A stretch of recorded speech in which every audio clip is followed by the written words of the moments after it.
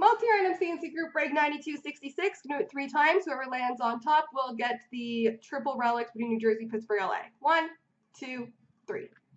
New Jersey takes that one. There we go.